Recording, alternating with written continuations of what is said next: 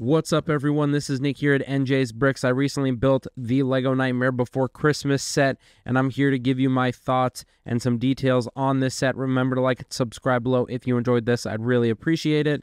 This here is a set with just under 2,200 pieces. It comes in three main sections. You've got the hill area and the graveyard on the left, Jack's house in the middle, and the town hall um, city center building there on the right side. Of course, you can see the mayor there, Lock, Shock, and Barrel, Jack, Sally, Zero, the dog, all in attendance, Sandy Claus as well. Love some of the details here on Jack's house, those boards up top being askew just enough to give the illusion that the whole thing is a little off kilter, even though it isn't really.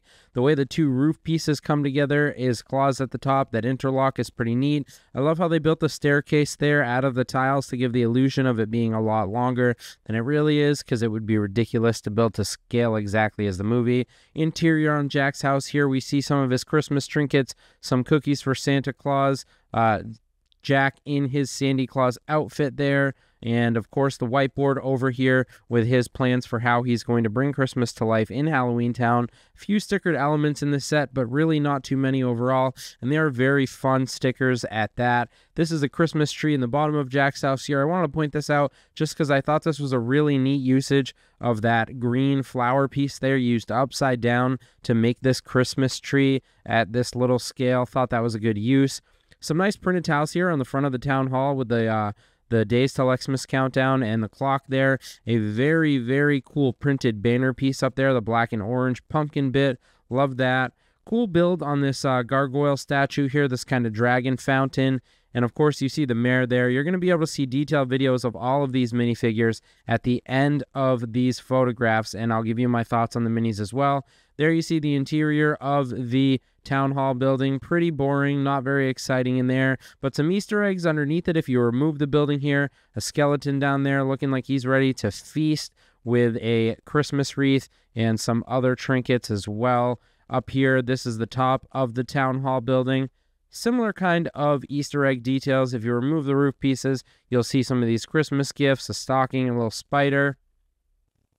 Here on the left side of the build, we have the graveyard with Zero and his doghouse down there, and then this hill against that giant moon backdrop, the classic cover of the film, brought to life really well in this scale. I might add just enough wonkiness there to be believable. A little different from the original fan build that showed up on the Lego ideas, but more practical. And then here's Zero. Uh, I'll mention it later, but one of the best custom molded animal pieces I've ever seen from Lego. Very impressed with Zero. And of course, Jack and Sally with some nice detailing in their printing as well.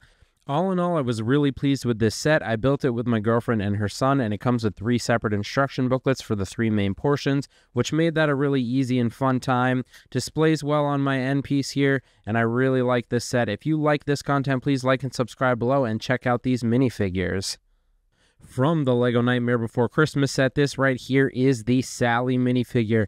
And I gotta be honest with you guys, this is one of the most detailed printings I've ever seen on a minifigure. I love all the little line work, the layering of the fabrics and colors, especially on the side of the legs there, and the front of the toes and the belt area, the detailing and all the little stitching lines.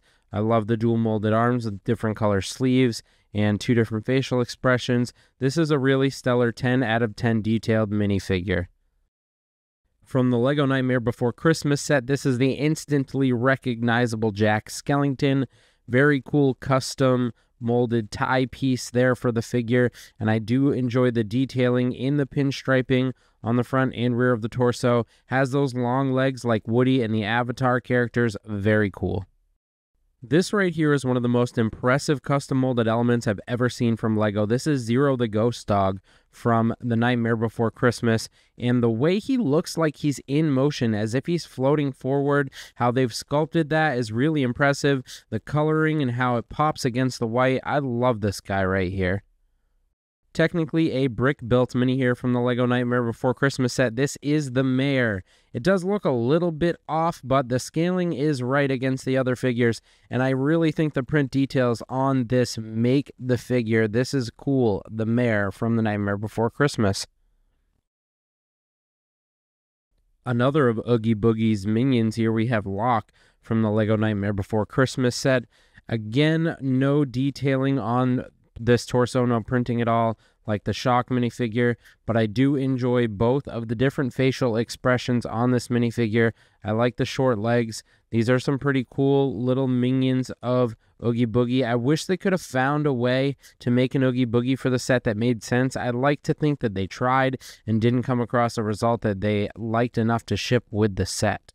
This minifigure right here is Shock of Lock, Shock, and Barrel fame from Disney's and Tim Burton's The Nightmare Before Christmas. This Lego set just came out this September and I had to pick it up immediately. Was thrilled to get my hands on it. Some very cool minifigures in this one. Two different facial prints on this minifigure for Shock, which is pretty sweet. No detailing on the printing at all, but I do love the dual molded hat and hairpiece with the little wrinkles in it. A really cool little minifigure here with Nightmare Before Christmas. With the Lego Nightmare Before Christmas set, we got all three of Lock, Shock, and here we have Barrel, the only of the three minions to get his own torso printing here, as opposed to just being plain sand blue. But like the other two minifigures, also have a couple different facial expressions here. This is also a classic green hair piece, similar to what you see on some of the Joker minifigures. All in all, Nice to have all three of these included with the set, even if the detailing is a little lackluster. Here we have Sandy Claus from the Nightmare Before Christmas set.